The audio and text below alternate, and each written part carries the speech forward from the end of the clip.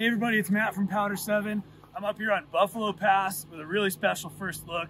We just had two great powder days with Steamboat Powder Cats, um, and I was I've been testing out the new Salomon QST-X. It's a 24, 25 ski, and so Salomon's loading it into the lineup as their new widest option. So wider than the Blank, wider than the Echo.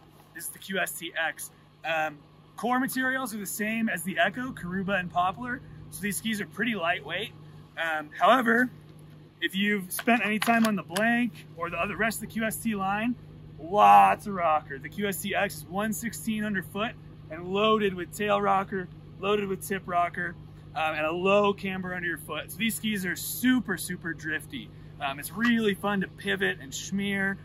More of a soft, playful um, option in the Salomon collection, whereas the Blank skis a little bit differently. These have a long side cut, 25 meter radius, so they're super drifty, but when you turn them up on edge, they're powerful. They want to make long radius turns, and that's a blast um, up here, especially in the in open open terrain, open trees.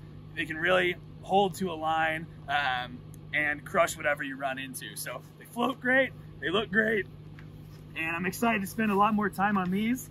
So stay tuned for more content. We're gonna have a full review. Um, so subscribe in the links down in the description. Stay tuned for more on the Liftline blog. This is the QST-X with, hint, hint, the Shift 2.0, second version of the Salomon Shift. We'll have a lot more beta on that as well. See you out there.